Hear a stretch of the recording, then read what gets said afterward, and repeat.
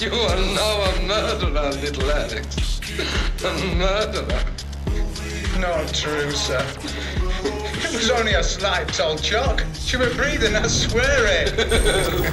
I just come from the hospital. Your victim has died. You try to frighten me, admit so, sir.